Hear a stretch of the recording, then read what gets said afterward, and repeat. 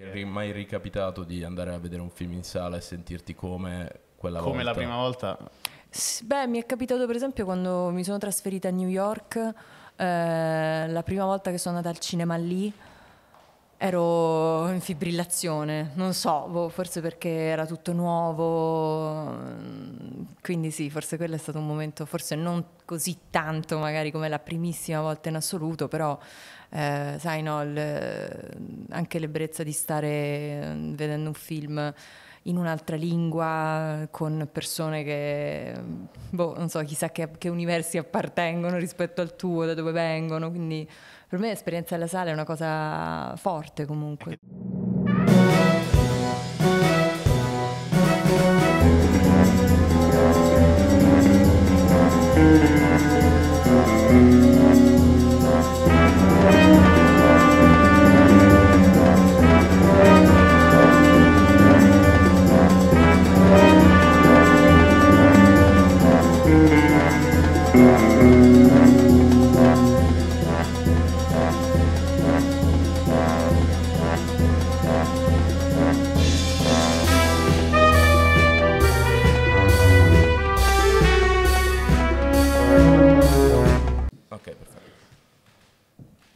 Lucrezia, benvenuta all'Arte Settima Suite.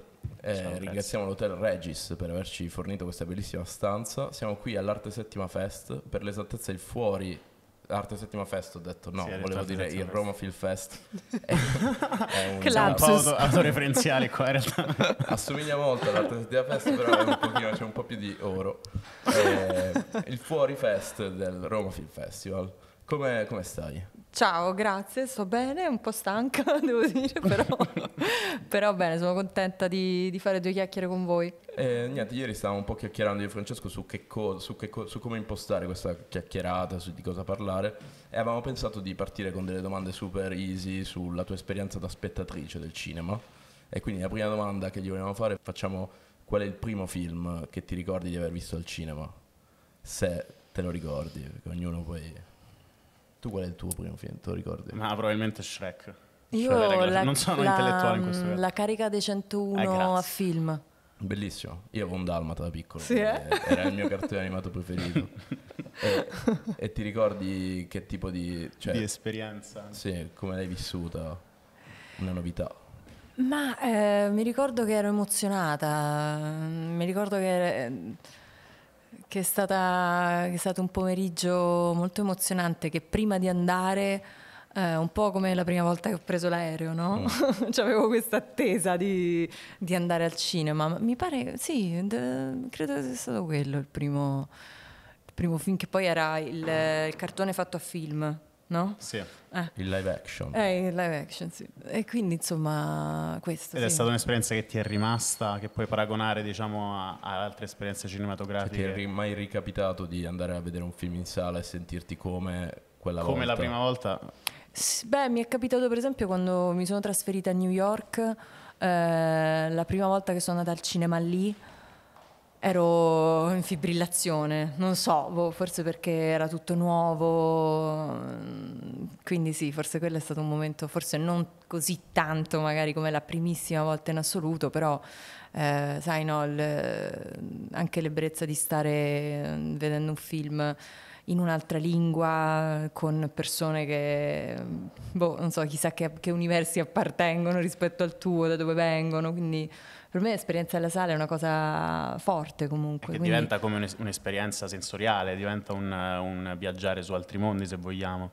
Per me sì, cioè io sono anche una spettatrice rumorosa, nel senso che cioè, se devo ridere rido, non mi censuro, no? Quindi eh, effettivamente sento l'energia che c'è in sala e sono, cioè se c'è qualcuno che disturba mi incazzo, mi arrabbio moltissimo. No, sì, ma anche a livello, anche a livello di ciò che, ti, che- che- ciò che ricevi Eh, dal sì. mondo che stai guardando, dal, dal mondo cinematografico, diciamo, che- con cui ti stai interfacciando.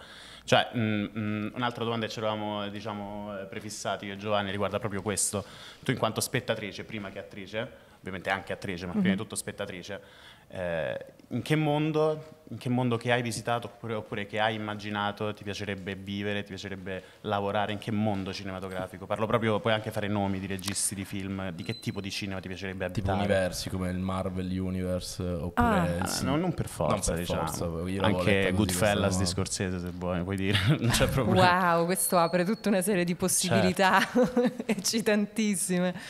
Oddio, non lo so, ci, ci dovrei pensare ragazzi, è... Mm, No, Marvel forse no, non è il mio. Cioè, se ti proponessero di fare Wonder Woman, tu accetteresti? Beh, vabbè, sì, diciamo sì. che è una cosa che non, non, mi farebbe schifo, siamo onesti. Um, però non è, non è, il mio sogno, cioè nel senso forse non è l'immaginario che sento più okay. vicino a me.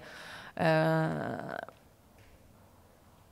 sorpresa sono andata eh, l'ultima volta che ho visto Oslund Ah, ho detto qualcosa di male. No, Sento no, dei... è una cosa bellissima. Eh, però, mm, ecco, lì per esempio ho pensato, cioè qua c'è un, così tanta carne al fuoco che proprio ti senti già da spettatrice mi sono sentita proprio investita dalla testa ai piedi, no? E quindi è una cosa che ho detto magari. ecco, quindi questo sì, ecco, Oslund per esempio è un regista che mi piacerebbe frequentare. Lo, forse è una cosa impossibile. Parliamo di Triangle però... of Sadness nello specifico, vero? Sì, eh, ovviamente Triangle of Sadness è l'ultimo che ho visto, che già dal trailer insomma aspettavo da tantissimo tempo, ma eh, anche Forza Maggiore, cioè insomma tutti quelli che ho visto suoi mi hanno lasciato un po' senza, senza fiato. Senza fiato, ma sarebbe possibile un Triangle of Sadness in Italia secondo te? Se lo fa fare... lui? No, secondo te proprio. se lo fa lui, dico. Ah, se lo sì. fa lui? Eh, no, anche se non lo fa lui, diciamo. E eh, non lo so, Quel perché tipo no? Di Io sono... Ma perché no, ragazzi? Perché no? Prima ho sentito il panel, avete fatto mm. diciamo, eh, conversazioni anche molto interessanti sulla, sul, sul, tessuto del cinema in questo momento in Italia. Eh, volendo, volendo, tornare un attimo indietro, tu hai, tu hai, se non sbaglio, il tuo primo film in cui sei apparsa è quello di Michele Placido, Il Grande Sogno. Allora, Il Grande Sogno è stata un'esperienza che ho fatto da um, allieva attrice della Silvio D'Amico, l'accademia che ho frequentato. E um, Michele Placido prese alcuni dei ragazzi del primo anno, tra cui anche me, per fare diciamo delle figurazioni speciali, quindi in realtà non è stato proprio il mio primo film, è stato il primo set però eh, esatto. che io ho frequentato. La tua prima esperienza sì. in quanto attrice? Non ero attrice, oddio mio, cioè, cioè non è che avevo quanto... fatto, non avevo la sceneggiatura, sono stata lì sul set e poi mi hanno detto di una battuta, insomma, okay. non avevo idea. Cioè, ma vedevi già, ti affacciavi già in qualche modo al futuro? Cioè, prevedevi già eh, quello che è stata poi la conversazione lì dentro? Cioè, il tuo evolverti anche adesso eh, attrice di serie, che comunque dicevi, hai fatto un discorso molto bello sul fatto che comunque non, non basta più essere protagonista di una serie per, per raggiungere diciamo, la notorietà che mh, l'immaginario dell'attrice proietta. Eh, tu ti aspettavi questo cambio e arrivare da cioè, eh, quel mondo del grande sogno a questo momento qua presente in cui il cinema, specialmente in Italia, è frammentato, è non, non, non più identitario? Cioè il percorso che hai fatto anche in quanto a percezione di quello che è stata l'evoluzione del cinema? No, ma probabilmente in quel momento, cioè quando stavo sul set in quei giorni, neanche avevo questo tipo di pensiero, cioè onestamente ero una ragazza giovane che so, mi sembrava tutto così irraggiungibile, tutto così lontano, mm, non avevo ancora fatto questo genere di pensieri, forse non avevo neanche l'esperienza, la conoscenza di questo mondo per poter azzardare delle ipotesi sul futuro del cinema, no? Ok. Eh, questa è tutta onestà. Ok, abbiamo altre domande. Sì, beh, c'è una domanda molto stupida, però ci sta anche farla. È da attrice, eh, quale personaggio storico, anche culturale, letterario o musicale ti piacerebbe interpretare se potessi avere, se avessi totale libertà di scelta? Oddio. Eh, questa è una cosa che vedi, chiedono sempre in interviste, bisognerebbe prepararsi un po' su questo genere di domanda. Ehm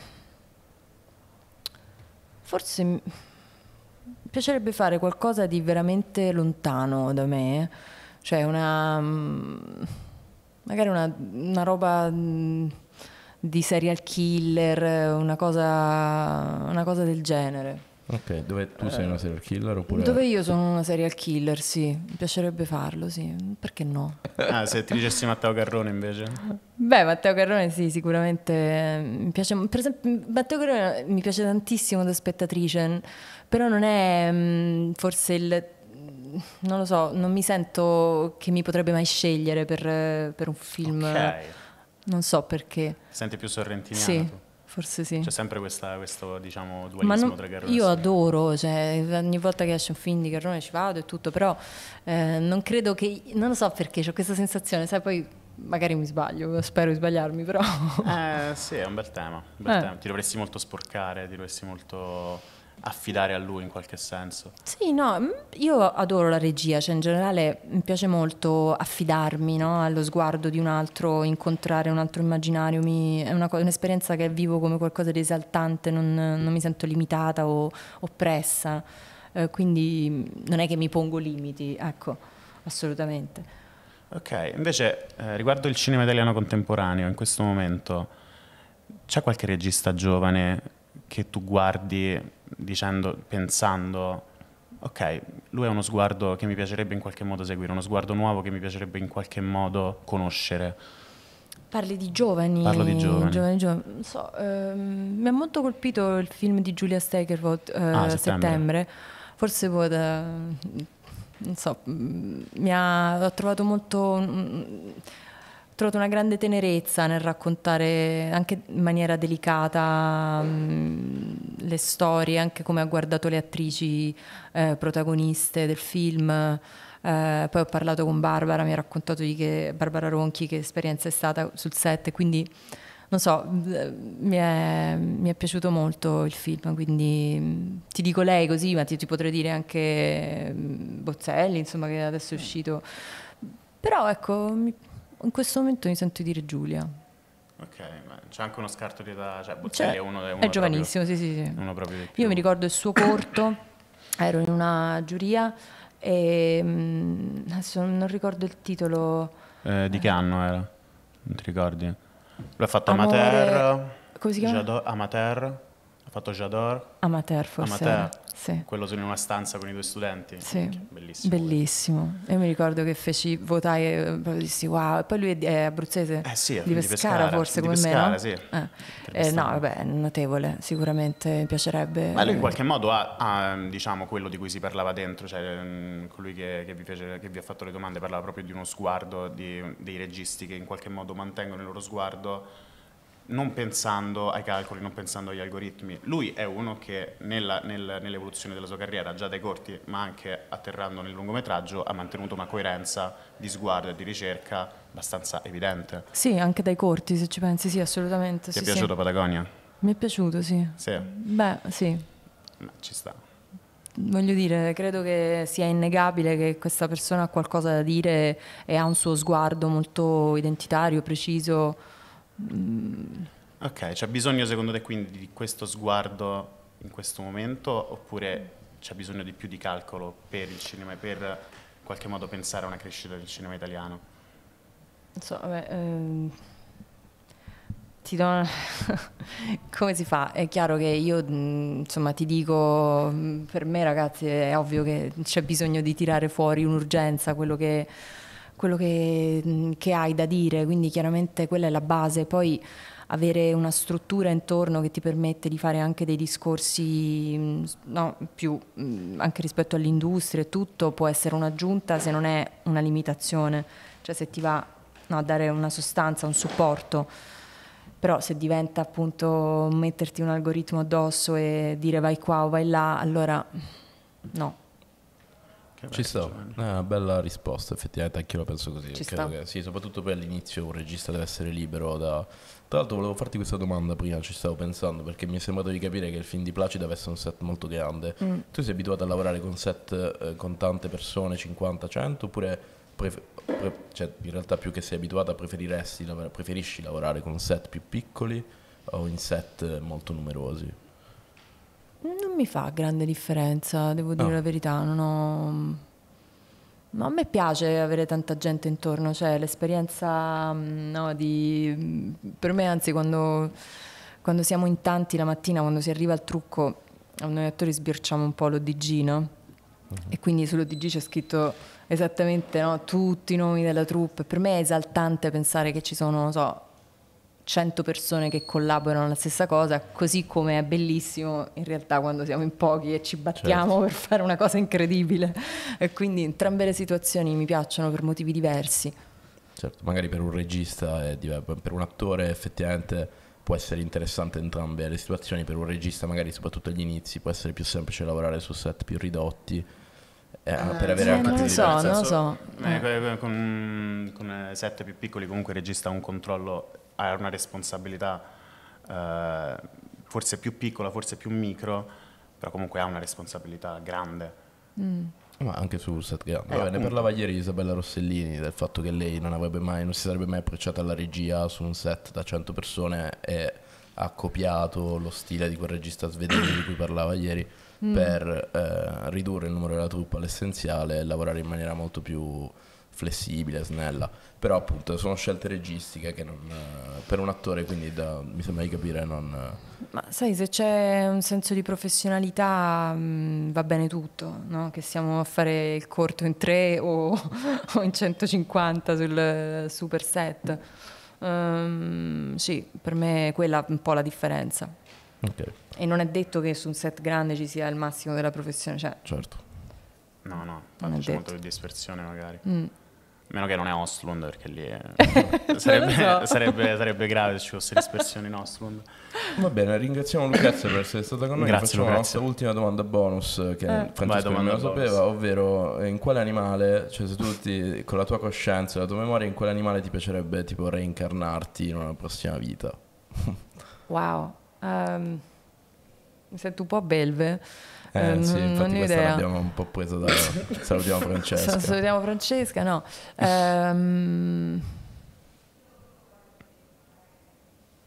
non lo so, ragazzi. Forse un gatto. Un gatto. Sembrano abbastanza tranquilli. Ma un gatto affettuoso o un gatto che mm, se la tira, diciamo? Un gatto che se la tira, dai. Ok. Sì. Lui, quel ragazzo che vedi dalla telecamera, c'ha un gatto che si chiama Vincenzo. che Sì, ma lui è un gatto Ma io affettuoso. ho un cane che è un gatto in realtà, che se la tira tantissimo. Quindi Anche il mio forse gatto la se mia... la tira tantissimo. Eh, ma il mio è un cane, dovrebbe essere un cane. più... Cioè, Amorevole, eh, coccoloso, Dovrebbe essere invece. più amorevole, invece ci snobba tantissimo. e noi siamo lì che no, vogliamo le sue attenzioni, ma in realtà non... Ehm, ciao Jupiter, eh, un grande saluto. Salutiamo Jupiter, Jupiter. sicuro, guarda. grazie per essere stata Grazie a con noi. voi. Grazie, grazie. Grazie.